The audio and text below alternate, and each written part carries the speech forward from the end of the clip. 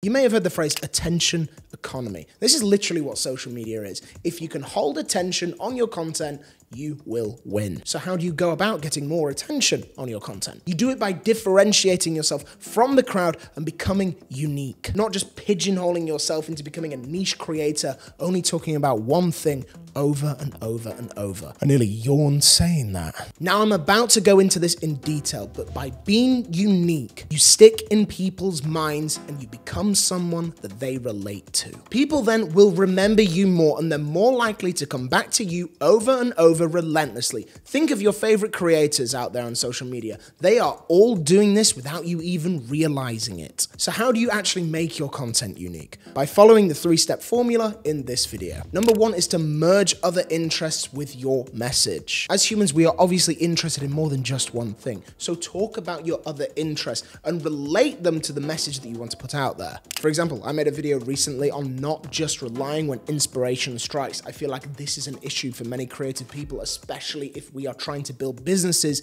out of our creative talents. We normally get stuck in the trap of burning out or not being inspired or things like that. So it's about building structure around that.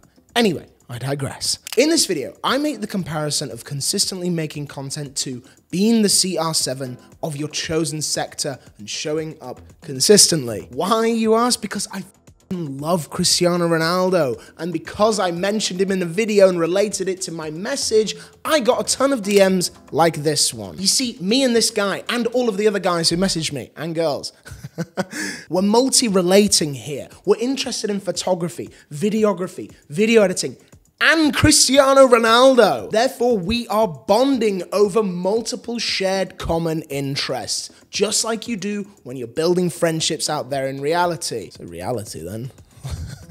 Not the digital world.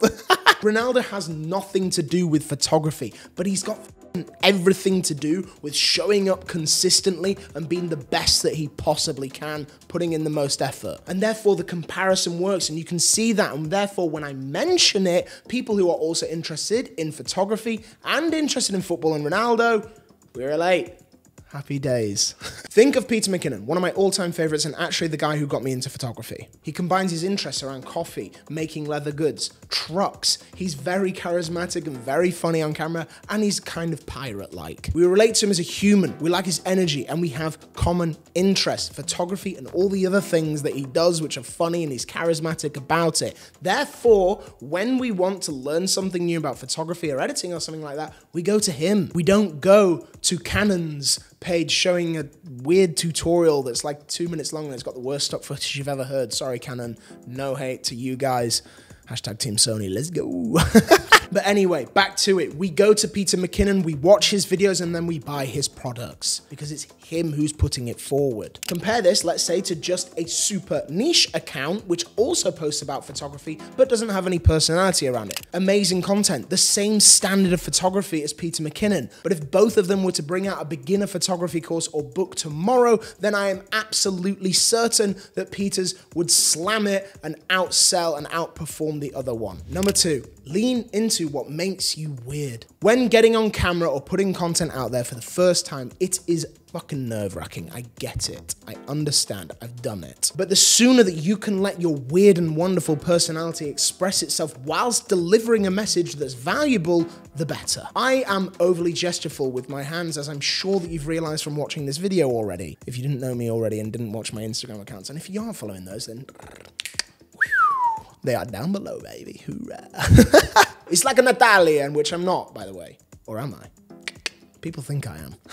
I combine multiple languages in the same sense as if you watch my short form content, you will not get out of a video alive without hearing English, German, Spanish, French, and Italian all in one. And maybe even a bit of Swahili knocked in there. It's just the way that my head rolls. I don't know why it does it, but it does. It's how I write, it's how I think. It's weird. I know, but it's spicy. And do what makes you spicy. And sometimes I wear crazy clothes. I like wearing crazy clothes. Shout out to my petrol colored shell rave jacket. OG viewers know the one that I mean.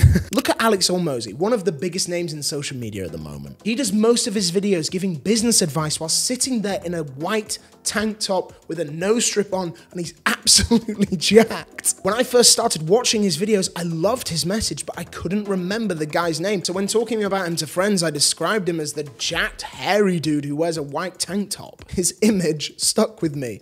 It worked. There's a reason he's doing that. Number three, and very importantly, is self develop relentlessly. It's a very simple one. The more you level up as a person, the more that you can help those who are just a few steps behind you get to where you are now. And that is the point of this. There are tons of books, audiobooks, podcasts, courses, YouTube channels, and newsletters out there, including my newsletter the Creator's Manual. If you haven't subscribed to that already, it is jam packed full of value, baby. Get yourselves on the link down below. Information is at our fingertips like never before, so dive into it like a freaking Olympian swimmer. Not a swimmer, a diver. That's what I meant. You can quite literally find anyone out there who you look up to, look at what they did, how they got where they are now, then proceed to act like that and get a similar result. This is why right now I'm listening to so many actors' memoirs or autobiographies or things like that. I'm rubbish with like the names of book categories, fiction, non-fiction. I still forget which one's which. I just know one's made up and one is factual. And I know when I'm reading it. Imagine that, I mean, reading Lord of the Rings and like, shit, this happened? Oh, alas.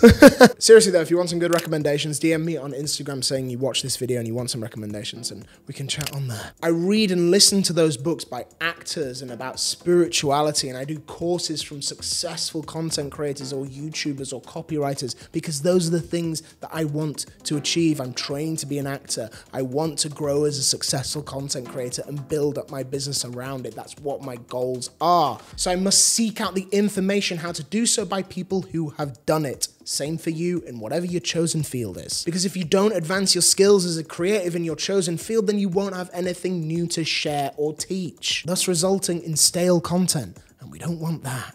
Immerse yourself in mastering your chosen field of interest. Research relentlessly and experiment frequently with different techniques and styles. Like I said in the video, more information in the newsletter, which is below the creator's manual. It's totally free to sign up to. Subscribe if you're not already. Comment below if you found this useful and what you're going to be implemented, and I will see you in the next one. Mwah.